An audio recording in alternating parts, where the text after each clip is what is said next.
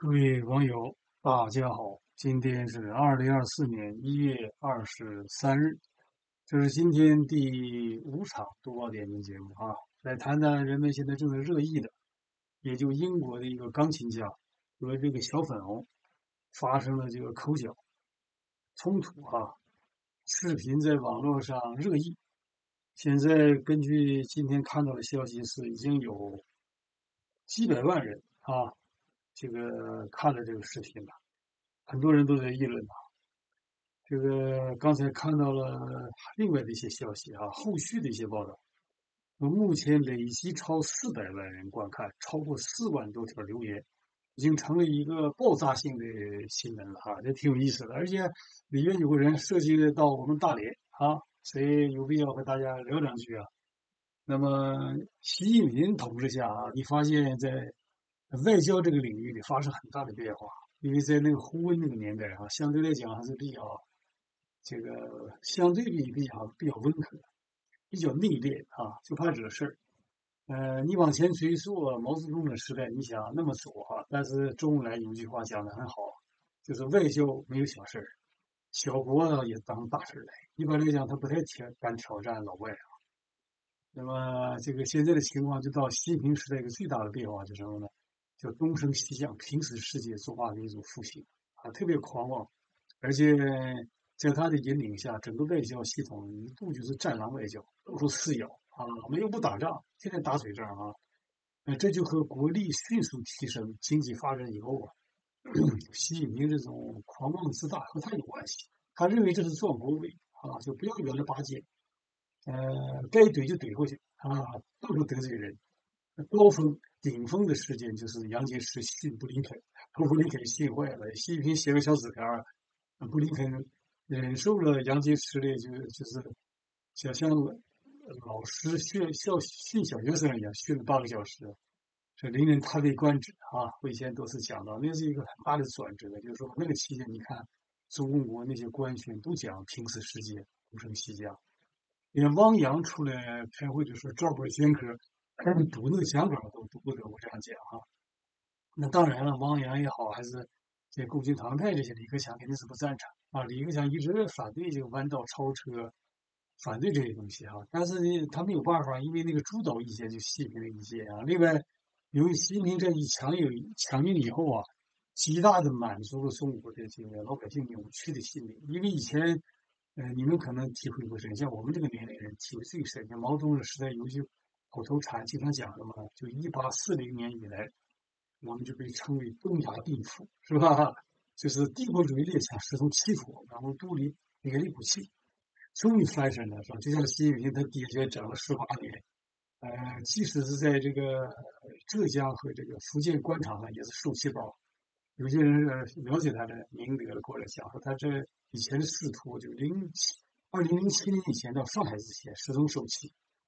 忍让啊，全是叫人家训斥，但他特别能忍啊。一有什么事他就说：“这先别着急，时机还不成熟。”后来时机终成，终于成熟了，是吧？我要讲的什么，就是这个，你们可能有些朋友不太了解中央电视台的内部一些事儿，因为我不了解他们内部那那个事儿了，是吧？我有个很好的朋友，到现在在那工作了，有的都当领导了，不是一一般级别的。我告诉你们，这次这些人。啊！但是我只能讲是我猜猜测，我不是说咱们看到他们的工作证了。就这些被大家现在训斥、就批评热议的小粉红们，这些人呢，他的确是什么？是中共的大外宣的一伙人。他们是什么人呢？我告诉你们，你们没怎么注意。中央电视台每每年这个时候都要拍一些节目，什么节目？就资料片儿，就准备好了什么？就是春节联欢晚会前后。每一天要播放什么？播放全世界的华人欢欢喜喜过大年的时候，就会罗列不厌其烦的罗列全世界的小镜头。你比如说多伦多，也是这个这种镜头，一个是一个是体现中国的传统文化，就是春节；另要体现出习近平新时代要吹西临，对不对？你看以前不都是吗？说在多伦多华人怎么样？在美国纽约，在在罗马什么，全世界都有个遍。但是他拍摄的时候，就是一定是拍的非常详细。你别看那一瞬间就那么几个小镜头啊，但是中央电视台的节目特别多，频道也多。他有的时候在新闻联播里是一闪而过，但是在别的节目专题节目里就会非常呃详细啊，所以说他都就肯定是我个人猜测是什么呢？这些人就属于和中央电视台合作，甚至就他们的人？至少有一个还是应该是他们的人，就在海外或者什么呢？他属于这个中央电视台对外的啊，一般英语都很好啊，和大使馆都有联系，甚至有的是双重身份，既是记者又特务，又是这个中共的间谍特务啊，就就类似像有的双重身份啊。你看孔子学院不就是吗？有些你看孔子学院的领导，那实际是特务，国国安部的啊，有文化特务、商干等等各种身份。他这个就是为什么他们撞车撞上去，就因为他们拍这东西到处拍。但是由于他们本身那个孤陋寡闻的，他们不认识这个就是这个这个著名的钢琴家是吧？你我都叫不上名字，这是心里话。你要没一定的专业知识啊，哎，你不知道他是个钢琴家，因为海外就是这样啊，都都很随意，经常有这种公开场合有个大钢琴放着放着，谁都可以弹。那么上去比量两下的人呢，那也只有内行的人能认出，第一是名人，第二他在直播，对吧？谁不会想到？他都没想到人在直播啊，他不是有意的说我去中央电视台里头搞个节目，说我在这整个事儿，他不是，他是应该是给中央电视台的外对外部准备了一个资料片儿，那可能中央电视给他们钱合作也好，还是怎么样哈，就是说他这个就准准备这个片儿过程当中，歪打正着就碰到这么一件事儿啊。那么因为今天这是两篇文章啊，上篇文章是。呃，小粉红杠上钢琴家，两大后续来了。这是香港零一报道，世界新闻网啊报道的消息。香港零一多多少少有点中共的背景。刚才看了有一另一篇文章，《新唐人》讲讲的比较详细，就什么呢？有来头，是英国小粉红事件主角李明资料被挖出来啊。给大家介绍一下后后一篇文章，因为前面的文章就讲了个过程，人都知道成公共事件了啊。其实我在刚才外边我给你看了这报道。当时我就想到，他应该是往电视台呃合作方。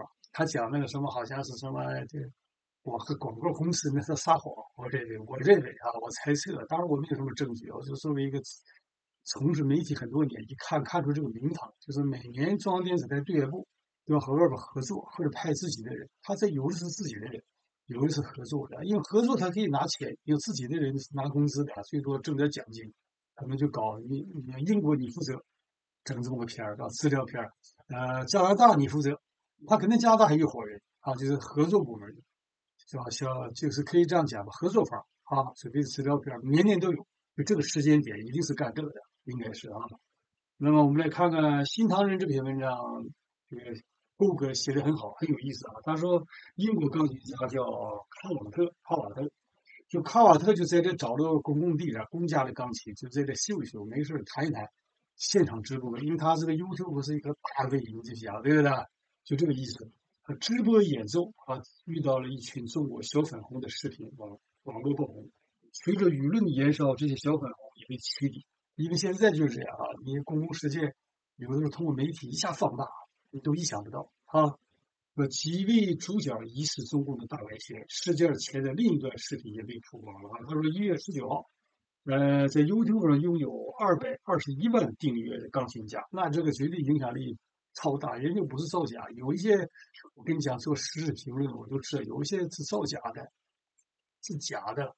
呃，他那个圈子里互相点，因为他人多，还有的是花钱买的粉，造假的。人是真正的，就一个就是二百二十一万，二百一万也不是也不是最多的。现在最多的是什么做儿童玩具的，是吧？那小孩都是几个亿的，那那很赚钱啊。呃，但是根根据我掌握的情况，我前几天看那个徐晓东的视频，他就想，有个大卫又买房子买车，但是他不了解情况啊。你就几万的，也就几千块钱，对吧？那是不是有的可能？我看上面写都几十万，我始终对那几十万我是打个圈儿，是吧？因为你就想想吧，你想想那些人基本上都是一个圈子里的人，对不对啊？呃，我是不太相信，因为我经常接到那邮件啊，有的公司就告诉我，你要能每个月拿多少多少钱，马上给你加几个零，我不干这个事儿，因为说咱这年龄，咱这小家小户，就那七万八万，赚个几千块钱够了，是吧？你你我这个月就还有半半个月没做，我在游船上我也赚赚了钱足够花的，我挺高兴的啊。我是说什么？说是拿这个就能买房买车，你说实时评论的根本就都别想，除非你是人这个，你像这位还行，这位恐怕你买房买车也也也恐怕也达不到这个水平。你的小孩这个做儿童那种哈，是就上亿上千万这种大位，那或许是是吧？另外还有一个这个优秀网站，发现也很精明，因为他和你是合作伙伴关系，有合同啊。等等你的粉到一定程度，就是赚钱太多了。他可能就在，我个人猜测，他就给你挂黄标了。我跟你讲，你就想他怎么可能让你赚钱超过他，是吧？你你你买的永远不如不如卖的狡猾，是不是？他是你一个生意，因为你无法看他的账，你怎么去看他的账？查他的账，是吧？所以我从来不投诉，投诉也没有用。你你怎么去查这账？说咱俩合作伙伴吧，你多少我多少，他从来也没给你一个清单看，是吧？也很难查呀。我要讲的是吧，就是不要夸张啊！这这里的收入，有些人都吹牛皮。你怎么能赚钱？就是如果你是要出卖你这个灵魂，你就很容易赚钱。你比如中共大概去，我给你整一个说造假，给你编造故事，那你这钱挣的很多。但是那个你就有一天就要倒霉，什么倒霉？因为随着中美中加关系一点走向敌对，他们将来打起仗来。人可能这里的情报部门就要找你了，是吧？人现在肯定知道你打个电话、你的交易、你的什么 email，这里特务也是了如指掌，那里特务也是了如指掌，只是没中共的张牙舞爪，啥事还没做就披露出来，人家都老老实实给你掌握。等到人起诉你的时候，你基本上就完蛋了，因为他重证据。我都知道有一些人呢啊，都盯着，还没盯着，我就跟你讲，怎么能不盯？你整天拿中共的。好处在这个搞这套名堂，人家傻瓜呀！你美，尤其是美国 FBI 太厉害了，是不是啊？这不去讲他了，包括什么那些有些水都是买的假的。我跟你讲吧，你听没？有些人他为什么吹牛？他说买房买车，那是因为他从别的途径拿钱，他怕别人就是怀疑，他就开始吹人多少多少。怎么可能？你就想想。买房买，你在加拿大买个房，这个 house 得上百万美金。你说你这个点击油管的这个广告能带动多少？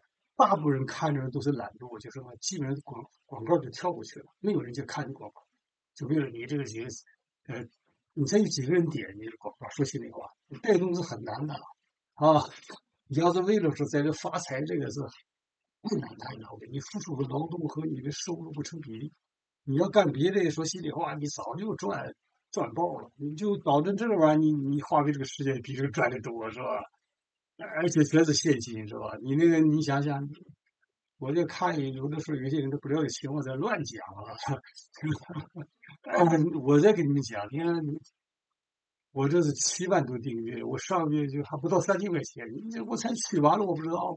我才处理都不知道，是吧？当然，我这是小家小户啊。我讲这个人啊，就是就是卡瓦纳哈，他也是大 B，是二百二十二十一万，但他可能一个月就几万块钱嘛，几万美金啊，应该是这样。嗯，这些不就讲的是跑题了啊？他说在伦敦国王十字车站直播弹弹钢琴的时候，被多名挂着红色围巾、手拿着中共血旗的小粉红向去阻止拍摄。对方表示不希望自己的声音和脸面被卡瓦纳拍到，嗯，因为中国法律不允许。确实，这个小粉红的举动，看着情节啊，充分体现了西方思想，就是个狂妄自大。他把这个手臂伸到这来，让这里还要还要按照中国的法律。那习近平不就是吗？你你随远必诛，你在这儿批评他，他找你家人是吧？骚扰，而且还要找人派人告诉你说，你千万别回去啊！我都前几年。有个大连人过来问，反正就当开玩笑一样跟我讲，他说国宝问，我告诉将军，国宝告告诉我说，这会儿你再叫他落落到他手里，不用判判刑，直接送监狱去。我当时一听都笑了，我我说我也不回去是吧？说你小子别回来，你瞎着嘚瑟什么？说你要回去以后挠住，给你挠住，你这永远别想出来，都不需要判决，这就体现了习近平的狂妄。习近平也是这样想的哈，那习近平。为什么会导致这些小粉红？因为他们属于我刚刚不讲了吗？很可能说我没有证据啊，和中国电影对外部合作，所以当然就来头猛了，是吧？你动他，他在国内那时候都能整死你，他在这没法整你，他只能讲两句话，是吧？另外他也不知道这个卡瓦纳是是何许人也。你老外有的，你别看啊，这个挺有才华，但人从外表的意会差别不是名，有的时候还整的灰头土脸的，是吧？就给你感觉好像就是一个普通的人，但是特别有内秀。有的是，你看这里多伦多那个那个地铁站上不就有一个人呢，也是经常在那就弹这个琴什么东西啊。那天我和他聊哈，那很有名的一个人，我就跟你讲，你你这聊着聊着会十二国语言，都是奇才，人家愿意干这个事做点谈赚点小钱，觉得挺好的，是吧？在这国家呢，在海外这种人才有的是，他是其中一个。他当时就在那直播他弹钢琴的事儿，哈，说结果呢，这个就发生这么一个一场冲突了。倍倍感诧异的卡瓦纳直言，这里不是共产中国，那他肯定不能接受，因为这个地方是他有这个可以在这直播，也可以在这拍摄啊，任何人都可以拍摄。你知道在公共场合，呃，你出现的话，你这个你这个镜头只要不用于商业目的，咱不是为了盈利，对不对？那当然，他这个 YouTube 网站上盈利，这个这个直播，他是有收益，他是间接盈利，对不对？他并不是他本人盈利。你 YouTube 网站对所有的你开开油管都，你都可以开。你开完了以后，你就如果是订阅量超过了一万，就我那时候加入是一万以后，你就可以申请。可麻烦了，我就跟你讲，赚这个钱是是实在是太苦了，我就跟你讲，真的。我再讲一遍，就是这种啊，你付出的代价和你得到的完全。成比例不用别的，你就办这个东西，你说得罪人得罪多少？你总是批评别人，对不对？你总是挑人家毛病，而且你挑的是一个独裁、张牙舞爪的、无所不用其极的一些一个制度和一个政党。他有的是钱，所以是很不安全的啊！大部分干这个都不是为了钱，他是一种精神，就是有种精神追求。捎带的有点收入，解决个就是说吃饱饭没有问题，是吧？养家是不可能的啊！还有的讲呢。谁谁谁暴富起来了？那个都是真的，真的天马行空的想象，是吧？另外那个，我再讲讲一遍，就标志上这写的多少万订阅啊，点阅多少数字，很容易造假。我跟你讲，我这个数字就让别人修改了好几次，啊，这个因为什么呢？你后台付你的报酬和你这上面写的不一样，你之前那不造假，那就是有的人电脑高手恨你，中共国宝国安，他就给你这个，你就别小了。啊，找你麻烦，还有的时候他给你们制作出黄标来，这黄标不是有时候网上给你挂的，是中共特务给你挂的。我跟你讲，我都遭遇过。这就需要你，如果是电脑高手，就看出来，跟咱们不行，就没那个。我要今天不是讲这个事儿，我讲的是就卡瓦纳这个事儿。这些人啊，呃，这些小粉红们都是有背景的，所以有来头，底气特别足啊。他如果是你在中中国国内的话，你得罪中央电视台和中央台有合作关系这些嗯这些人，那人都是等死你，对不对？你在国内的话，你要是顺从中共那些记者，有的是五毒，社会五毒啊，都可以欺负人。那有些人不就是吗？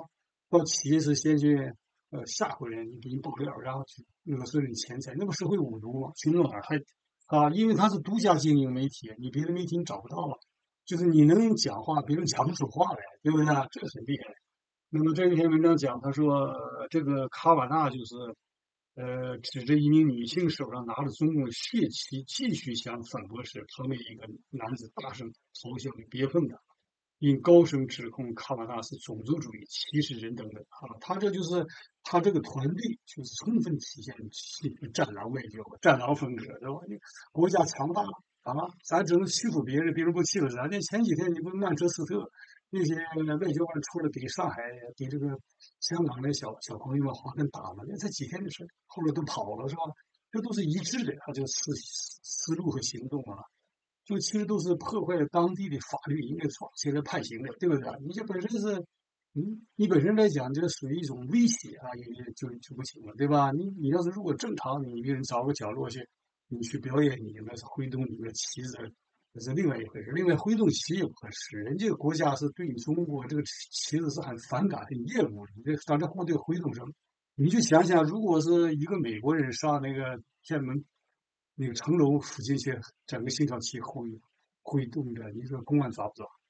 因为都在这儿呢，他就欺负人，欺负人就借呃加拿大、美国自由世界的言论自由的空间搞他的名堂。你就像这个超市门口，你看那垃圾一样堆。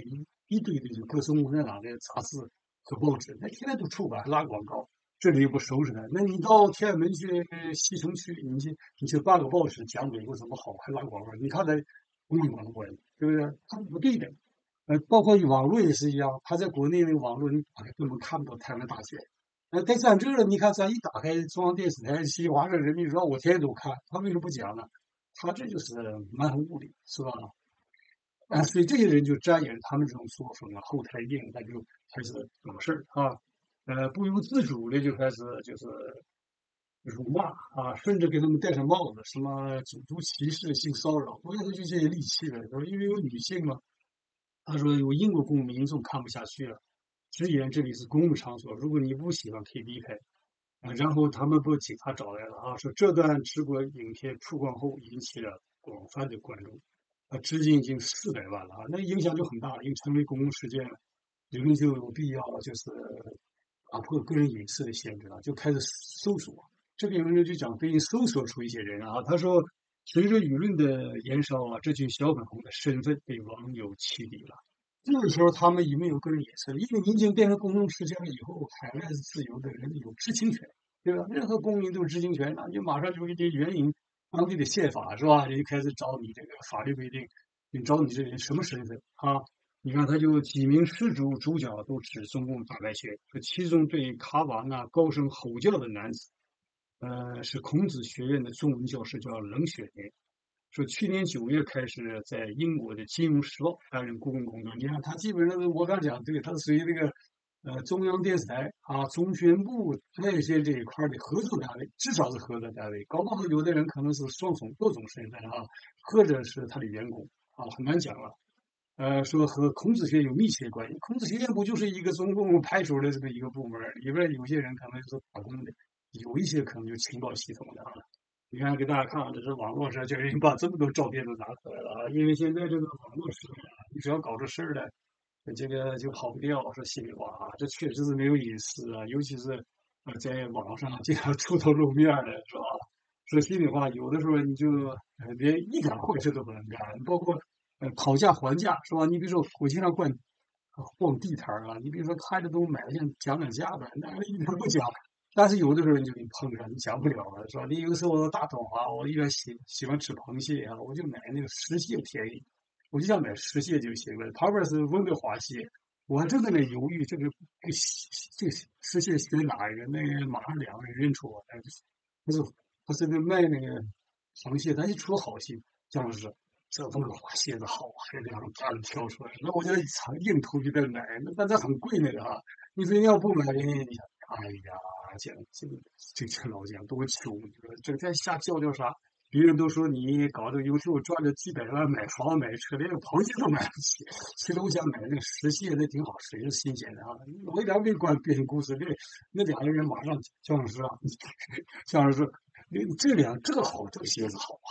他找两个活蹦乱跳的，好好谢谢谢谢，谢谢今天可真是糟糕是吧？你想想这个这个露头露脸，还并不是什么好事说心里话，那没办法，你咱们没有别的这个就梦想，就这么一个梦想，要怕中国就倒退到毛泽东时代是吧？表达表达观点了，顺便也赚点盘缠的，说心里话是吧？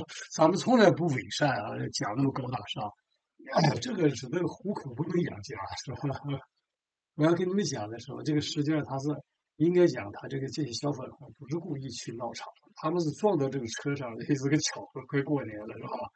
这个我们再看后边是怎么讲的啊？他说很有意思，外界普遍怀疑这几名小粉红可能是红二代，说由于冷血的冷血年这个人啊，他跟大连的副市长冷血峰，呃，差一个句一个字，网友怀疑两人是否是亲属关系，这个我不能证实，因为我是大连人。我离开大连已经是快二十年了，十几年了啊！他即使是副市长，都是新上来这一个，我都不了解，因为我现在不给家里任何人打电话，又怕给人带来麻烦啊。因为你一打电话呀，现在只要你给国内打电话，那那边就反映出是国家了，那边都有规定，我听说啊，就是凡是境外电话都有专门人监听。我就跟你讲，马上你就进入那系统了，然后国保就好找你了。他这一块应该是国安来管，他有的是人。国保是管那个，就是政治案件啊，叫政保案件、政治保卫案件。那国安是监听电话，主要是监监听这个电话和同步录音，他都给你录下啊。所以我不打，我也不能了解这个情况，不能证实啊。呃，他即使是这个关系的话，他也属于就是现在的领导干部，我都不了解，都是说心里话。他跟我比较，那不都小孩了吗？是不是啊？我要讲的时候，就说明这些网友们嗯太厉害了，马上就给这么详细的资料都整出来了，甚至甚至找出了疑点啊，也有一种巧合，因为有这个姓和犯这个字的人太多太多了，不不一定未必是这么回事儿。他说，另外一个身穿这个红衣、自称是英国人的女子叫张明，经常主持中共驻英大使馆华人晚会。这个应该是就属于这个我刚才讲中中央电视台对外部啊，对外部的应该是他们人人员，这个猜测啊，应该是他们的人，或者是合作的人，或者是多种身份，就是他那个一个人好几个身份，公安部里派出来的人，特工作人员。他好几个身份，在这里干，在那里干，这种可能性不能排除啊。那这个挺倒霉的。如果是这样的话，可能上级就可能对他进行批评了，因为他的国安系统现在不希望他们全部暴露身份啊。尤其引起这么大一个一个事儿，他说这个春晚、中秋节、中共之一都为中共歌功颂德的庆祝活动。那我刚才这个判断就对的了。他快过春节，他又搞了个资料片儿啊。你看，叫人把这东西放到网上了啊！我再给你这么一发，就更扩大了影响。最起码这七八万订阅，有不少人看，是不是啊？你看他说这个，这里还引用了一段文字啊，我估计重复了啊。呃，这篇文章讲啊，他说张明简介是曾任一五年中国梦，呃，全英春晚总导演。那他在全加拿大也有，你看就这条线儿就中央电台对外部、对外宣传部啊。它上边归广电总局，然后再往上是中宣部，就礼数这一关，但他们谈不上那么高的位置啊，反正很复杂。这个是个庞大的机器，因为共产党现在有的是钱，他再再没钱，他把这个撒谎机器也得搞好了，是吧？他为什么能够现在统治这个国家？最主要就是他拥有抓人的这个国家机器，同时还有骗人的国家机器，都是他说了算，是吧？说一一零一六年二月呢，全英春晚总策划导演。到你一五年第三届伦敦国际华语电影节，呃，幕后团队负责人。一六年呢是威斯敏斯特中央大厅就中国新春音乐节现场演奏会的统筹总监。一六年呢中英国际设计周市场总监。那基本上就是佐证了我刚才讲的身份，对不对？呃，那么在这之前，我看了一篇文章，他们讲他们好像要跟哪个部门合作个资料，这个商业片儿。还要保密，那显然是说谎啊！说谎是他们的长项啊！你看这里有很多的照片人扒出来，因为有些人呢愿意在网上秀穷嘚瑟，那肯定是你很难挡得住说心里话。说现在像年轻人小手这一滑，什么都出来了，是吧？这叫什么人肉人肉是吧？有人质问说，这张明是美国公民，是不是应该被注册为外国代理人？啊，还有人怀疑张明身份是不是另一个曾在美国政坛活跃的女特工芳芳？他如果是情报系统那种女间谍，他在这方面都有训练啊，就专门有设这个在从事工作，有很多。你看原先的克格勃不都有，美国也有啊，是吧？因为他在这方面性是一种交易方式，因为他连一般这种女的都比较开放，比较 open，是吧？因为这个方式很难的。满足你的性欲，然后再控制你，通过你获取钱，这种情况也很多啊。还有男色的都有是吧？呃，咱们只是看过小说啊，到生活当中没接触过这种人啊。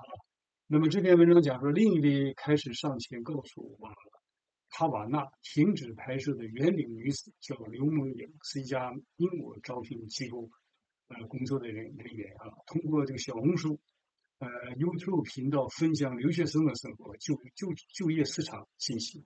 那就是这些人都属于经常露脸，露脸就难以躲避网络了啊。他说，还有刘梦莹的男友也叫给你找找出来了，就真有意思。你看，你看这个照片里讲这些男友的照片是吧？是不是男友照片？反正今天都是这网络的照片啊，我不是我自己，无法查证它的真和假呀。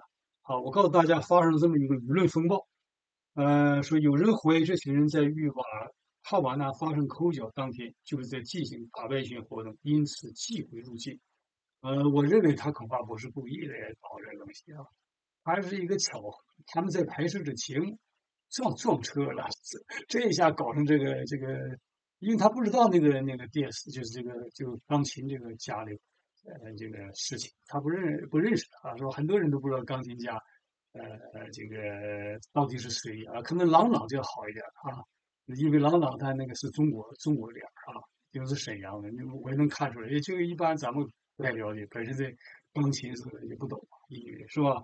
那么是不是中央电视台这些人应该懂？我就不太清楚了啊。他说，呃，有人怀疑哈，他说随着话题大热，这段视频的一段也随之抛出突出了。就之前还有视频叫人找出来了，说前期视频显示小粉红先上前与唐广娜打招呼寒暄，还介绍团里一名叫做学会弹钢琴的呃小鹿啊，弹钢琴的人叫鹿鹿两手，双方还称。融洽的一起随着音乐跳舞。如果这样的话，他可能现场还有一些互动，那也未必他就是要拍摄还是怎么样啊？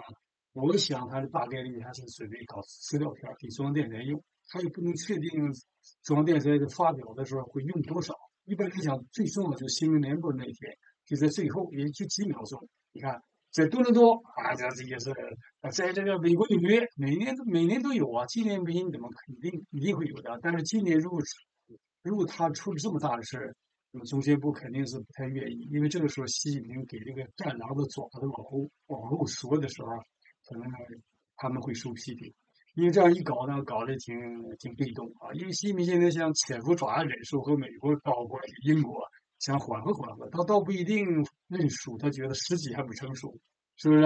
可能他们就会来批评啊。再加上他们现场讲那些话，有一些咄咄逼人啊，呃，是有点。我认为有些有些这个，呃，挺挺狂妄的，是吧？我们来看这篇文章，还有一段，他说卡瓦纳还上传一部影片，表示不知为何当时女子啊，她用英文讲的话就开枪的时候，那她不是带枪了，那你肯定她是形容形容英语不是太好，滥用这个形容词而已，这个容易出出问题啊。因为这个英语语言这个东西太微妙，说心里话，呃。同样的词有不同的解释，不同的语境还不同的意思哈。这个他应该不是，咱们实事求是讲，还是就意思你别就是啊阻止他，是吧？这个意思啊。啊，但在这里讲，有的就是怀疑，像他吆喝男子可能持有枪支啊，要持有枪支就违法了，他没有枪支，他的枪就撒谎，他 那就是他们的枪是吧？现在习近平思想就敢就敢枪了。呃，这篇文章讲啊，他说看完他以后不要也是在钢琴上放了一个维尼熊，还有八九六四的标志，减少对小小粉的骚扰的机会啊。说粉丝感叹整个事件都要谢谢习近平，说这群粉丝不但没有好好的说好中国故事，倒是认认真真帮中国搞事儿了，长臂管辖肖像权和国王的领土上来，还拿出呢。种族歧视和性骚扰这两颗社会核弹，在国王的土地上讹诈国王的子民。就这篇文章，就这段话，那是一针见血的，是吧？就是他这个，你到人这个国家英国这个土地上，你就是按照他的法律来办事儿，人家可以拍，任何人都可以拍摄你。你只要在公共场合里，是吧？那应该拍摄你。呃，你们有什么消息啊？有什么肖像权是吧？呃，有利你就是肖就有肖像权了，没不利就不就不能拍摄，那不是那么事儿啊。这是这是一个。另外，他他说指控人家歧视人不构成种族歧视，啊，这个完全是夸张了。这个这个在这这么讲吧，在这在这纯是诋毁人家，还有这个。什么性骚扰？你更够不上什么性骚扰？说你都公开场合都看着，人也不认识你，你骚扰你干嘛？你长得美呀，是吧？那大部分男的一般都不会干这种事儿，去骚扰一个女性，那个那种人就极少数的。我跟你讲吧，他为什么有些人动不动就给你拿着看着很坏？是因为事情很少，但是一放大以后，媒体报道好像都是不正经。其实其实不是那么回事儿。大部分有的男的对这个事儿并不是很感兴趣。说心里话，你现在。男的想的事多了，你比如钓鱼、打猎，是不是啊？你你栽花、养草，什么爱好人都有，是吧？还有人你就摆弄这个这个传藤挂棍，整天都迷了一样，家都不回，是吧？他都多元化了，他这个大概率还是这次他们撞上去了，撞上以后，呃，网友们的批评讲的是有道理的。他点到他的实质，就什么东西呢？你不能在这个土地上长臂管辖，让这里人家按照中国的法律办，对不对？那当然，这个就是这个这个钢琴家，他总在这弹，站的时间也太长，这也是个问题。你说那是公共的钢琴，你弹一会儿就走就行了，你整天在这时间那么长弹，这个我认为也不合适，因为你那个那个水平太高了。你弹好了以后，那那就成你算成演演演这演唱会了是吧？那演唱会你得租场地是吧？因为你直播现场直播那时间太长的话也不合适是吧？你比如说我要到哪个地方，那整个在天天都那么讲，恐怕也不行，是不是啊？呃，这个它都是一个综合原因，也不是说他做的十全十美，但他没有大的原则。这个大的原则是失误还是这些人？这些人的根子所以就在习近平，就习近平让他们讲中国故事，他把嗓子讲哑了，是吧？讲中国故事讲过分了，完了讲讲成破了，破铜烂铁，这个嗓子嗓门儿喊，把这嗓门喊破了，是吧？结果丢丑。我估计他这个肯定中间我在批评的，就是现现有的情况下，肯定是内部在批评的啊，因为现在不是他这个搞成这么大的事儿的一个一个时机。那习近平现在正需要什么，就是呃稍微变一变。你看这几天，你看这个整个中国形势开始大变了，是吧？习近平要搞统战，对菲律宾都是啊，你就想想对美国他更是呢，呃这个稍微稍微就潜伏转而忍受。那么这个他就算一个。就是习近平会认为是帮了倒忙，是吧？这实在是没有办法，因为这个事儿，我认为大概率还是偶然碰撞到一起哈。那当然仅供你们参考啊，本人没认真研究这个英国的法律是怎么规定，这种场合他肯定有法律法规都有哈。好，谢谢，再见。